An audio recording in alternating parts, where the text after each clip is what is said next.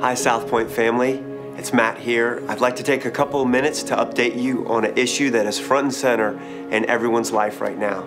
It's the coronavirus. Matter of fact, we just finished filming a video about SouthPoint's responses, but we wanted to wait till send it out till after Governor Hogan's 4 p.m. press conference today. And during that 4 p.m. press conference, the governor's conference announced that Maryland public schools would be closed for the next two weeks, starting on Monday, March 16th, and then not reopening again until Monday, March 30th. He also, through executive order, canceled all events with attendances greater than 250 people.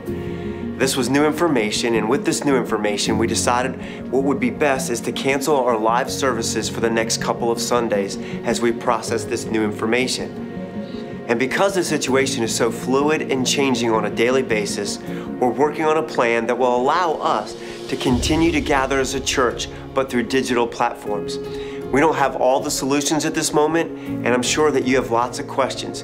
And we will continue to update you on a regular basis as the plan unfolds.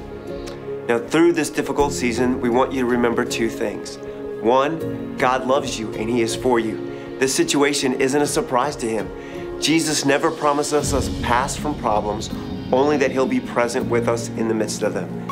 And then, secondly, let us remember what Jesus tells us is most important to love God and then to love our neighbors as ourselves.